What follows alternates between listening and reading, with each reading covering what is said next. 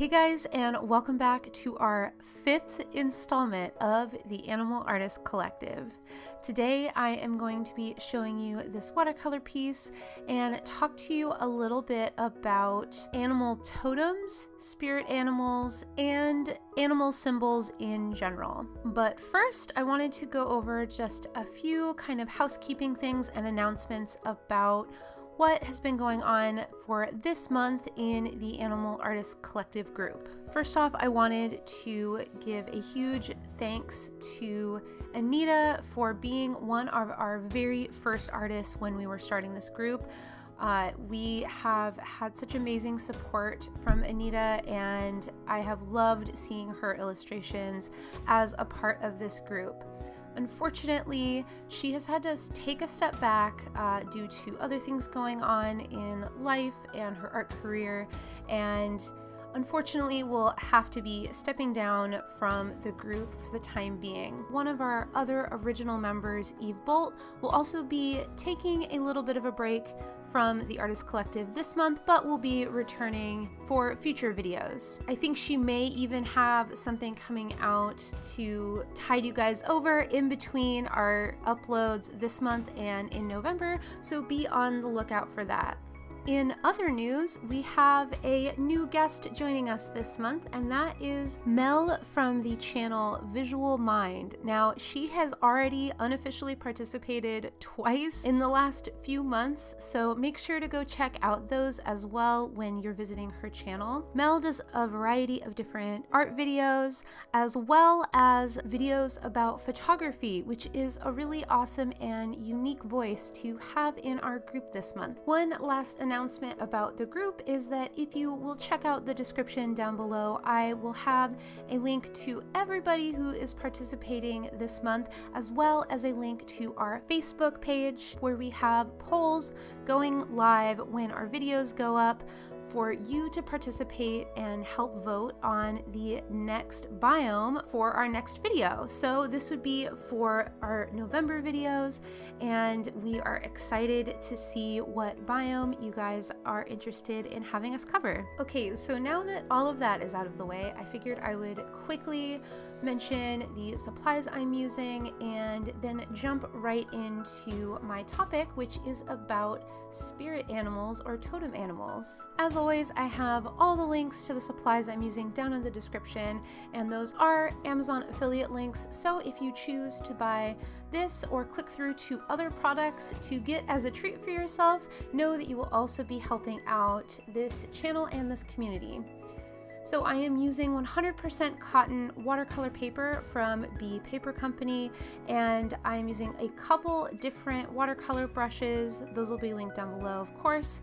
And my custom built Schmincke Horadam watercolor set. So today's topic is one I am really excited for and has been something that I've wanted to chat about more here on my channel especially since I studied this a little bit in my master's program for psychology, where we discussed and looked at symbolic meaning, especially within art therapy. Specifically, having animal totems or spirit animals can be something that is very personal and there are a ton of different cultures that are tied to this sort of practice with identifying with some sort of animal counterpart. In today's video, I'm going over just the very tip of the iceberg for this subject, and I'm going to be reading specifically from the book Totems The Transformative Power of Your Personal Animal Totem by Brad Steiger. And I will be explaining a little bit of my own personal connection with animals, and specifically for this piece, I will be talking about the spirit animal that I associate most with my mother, who I associate with a deer or kind of elk figure. I honestly could have picked what I identify as at least one of my spirit animals, which is the fox, because we are covering the temperate forests, and both deer and fox live together in these kind of climates. But I have done a lot of foxes here on my channel, and I really wanted to dedicate something to someone that was very close to me, my mother, and why I came to the conclusion of sort of associating her with a deer like animal. Reading a quick definition from the back of this book that I've just mentioned among traditional Native Americans and other tribal peoples, totems are the enduring animal symbols that allow these peoples to explore the mysteries of life and the spirit world. From the graceful antelope to the aggressive cougar to the wise and peaceful turtle, each animal embodies certain strengths and attributes that the spiritual seeker can embrace and follow on a path of self exploration. Now, totems offer each of us the tools we need to tap into the powerful of sacred animal totems by finding our own personal symbol and experiencing its energy firsthand. Now, I don't know about you, but I have always felt a connection to nature, which is pretty apparent in the work that I do, and I have definitely felt a super strong connection to animals. And it wasn't until I was in my master's program and even in therapy myself that I even started to consider what these connections might mean. Now, you can sort of take it for what it is. I feel like spirit animals and these sort of symbols in our lives are really up to the individual interpretations. So, you're going to get whatever you want out of having a spirit animal, and some may disagree or agree with that, and that is perfectly fine. Everyone's opinion is welcome down below as long as it is coming from a positive place but I am curious if there are any animals that you feel specifically tied to. This might be something that you haven't really thought about, but I can now kind of look back on my life and find actually quite a few different animals that I've connected to, whether it's been a symbol that I specifically feel a connection to on a level of my own identity or other spiritual animals that have sort of come alongside me to help kind of guide me through particular times in my life. I can actually think of quite a few that I didn't necessarily know at the time, even through childhood, and now find strength in thinking about these animals as sort of protectors in my life. Like I mentioned, I do associate the deer, like I am painting here, with my mother, and that is not because we had a conversation about this uh, before she unfortunately passed away when I was younger, and this was something that she specifically connected with, but it was an animal that I kept seeing pop up quite literally in my life in various times of change and specifically kind of stressful times, and I felt great comfort in seeing this animal in various places. One of the most distinct memories I remember in regard to her being present with me in life through the deer is when I first moved from where I grew up in Southern California up to the Bay Area where I live now to start my master's program, where I really didn't know anyone when I first moved and had to sort of start over uh, and had never moved in the entirety of my life. When I went to interview at the school that I eventually got into and graduated from, I realized that the entire campus was greatly inhabited by a lot of different deer. And it was such a cool experience to sort of drive through the campus and just see these deer grazing just about anywhere, all over.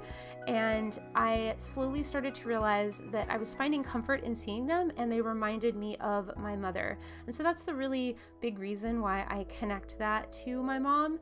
And I think it's less about what she would have necessarily identified herself as, as long as I'm finding comfort in it, that is a sort of spiritual connection I have to her. And even now, in the neighborhood I currently live in, we actually have quite a few deer uh, throughout the seasons living really close by my house, even though we are not all that far away from the sort of major cities, we still have quite a few deer and other animals that live kind of alongside us, and I think that's such an interesting thing that we have all of these deer that have sort of followed me through my life, mostly in adulthood. Now, you might be wondering okay, I'm interested in this, but how the heck do I figure out what animal is my spirit animal? And there's a few different ways to find an animal that you really connect with. And I wanted to kind of go through a few different ways you can find out what a spirit animal or totem animal for you might be. Like I mentioned, for me, I really identify with the fox currently, and that comes up in a lot of ways. And I also have a really strong connection to the octopus, and that's been a more recent thing. And I actually view that animal as more of a protector of me and something uh, more of an animal that I aspire to be rather than innately am. And I believe in my childhood, I actually had a pretty strong connection to the frog. I had a frog stuffed animal that was given to me when I was born, and it was my favorite thing ever when I was very, very young. And I went through a lot of trauma as a child, and I have found comfort in the frog symbol meaning a lot to me going through great change as a child. So, those are some, probably not even all the animals that I can identify at least right now. But in the totems book that I mentioned, uh, they give you a few different ways that you can find your totem animal. And one in particular is something that you feel like you've always kind of had a little bit of an obsession with. Maybe you've collected figurines of this animal, or you've just always known this is a favorite animal of yours. That could be a sign that that is your spirit animal. Something else that you might connect with is the zodiac birth sign, when you were born, and what animal that correlates with. There's also the Native American zodiac, there's the Chinese zodiac, there's the animal totem that correlates with patron saints. And in general, if you just can sort of meditate on this and open your mind and heart up to receiving some sort of animal totem or a symbol in your life, I believe that through that meditation and research, you'll be able to find an animal that you connect with. Now, for me, totem animals are more of just a symbolic spiritual connection on a fairly light level of just having an animal to connect with and feeling that connection as being my connection with nature. I think often humans forget that they are themselves animals and a part of nature because we have basically all but completely divided ourselves from nature and I think we not only can harm nature and our world because of that, but we also harm ourselves without really tapping back into that connection because I believe that there is this overall kind of more or less invisible connection that all nature has, whether that's plants or animals or just anything on the earth. I do believe that having connection to that can be really healing for us and is something that is really, really important to us being fulfilled and having a happier life. I actually only have a very limited view on this because we only touched on this a little bit in a class, like I mentioned in my master's program, but I would love to explore this more and more and reread through some of my textbooks and share this more with you because I do have this connection with animals and would love to chat about this more at the very least through my Animal Artist Collective pieces, as well as in general bringing different themes of what different animals symbolize to the artwork that I am making. So, real quick, I will sort of chat about uh, here at the end the illustration that I have made. I wanted to make a sort of mother deer and a baby deer symbolizing myself and my mother, and have the mother deer be a lot lighter, kind of ghost like to some degree, and have the baby deer be a lot more colored in and vibrant, sort of symbolizing that she is more of a spirit at this point, but still is a motherly figure to me.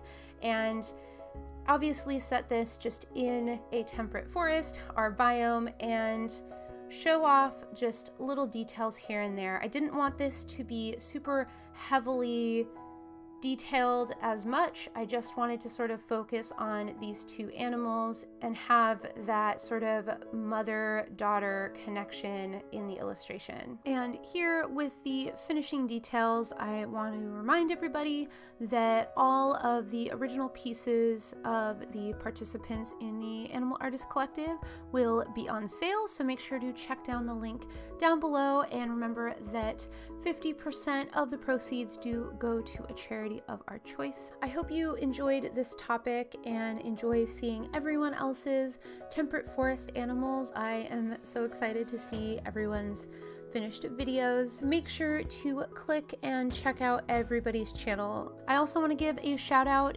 to those that are unofficially participating. Make sure to check out their videos as well by searching hashtags, as well as checking out the Animal Artist Collective Instagram. We love sharing those that are unofficially participating in our Instagram stories, so make sure to check those out. Thank you so, so much for watching. If you like this video, make sure to like, subscribe if you'd like to stick around, and share this video with a friend. If you have a particular animal that you feel connected with, make sure to leave it down below. I would love to see everyone's spirit animals. Maybe I'll even get a chance to draw it in the future if I haven't already.